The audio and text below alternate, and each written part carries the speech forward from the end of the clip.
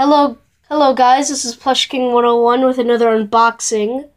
I just got back from school and not in a crumb. I was in a crummy mood, but now I got a package which brightened up my day a little. I do, I made a little rip because it's kind of hard to open this with one hand, but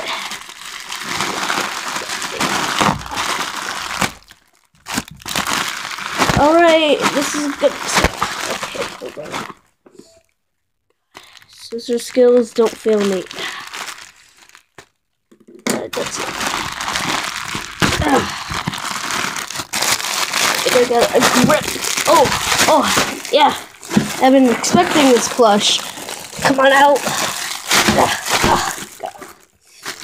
This is how to not open a box video. This isn't really a box, this is a bag, but still. Oh, God.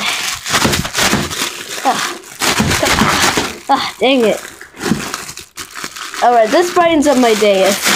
Oh, yes! Finally, I got my zombie plush. After a long wait for my Plants vs. Zombies series, I could finally have a zombie. All I really need is a pea shooter, maybe a couple other plants, but then I could start. So I got my zombie. He would go well with the other zombies. I didn't do an unboxing of Conehead Zombie. Hold on, let me go get him. Alright, so here's Conehead Zombie 2. Uh, I got Conehead about two days ago, maybe on, I think on Monday by the time this video is being uploaded. Uh, normal zombie is just has a different face of Conehead and doesn't come with a cone.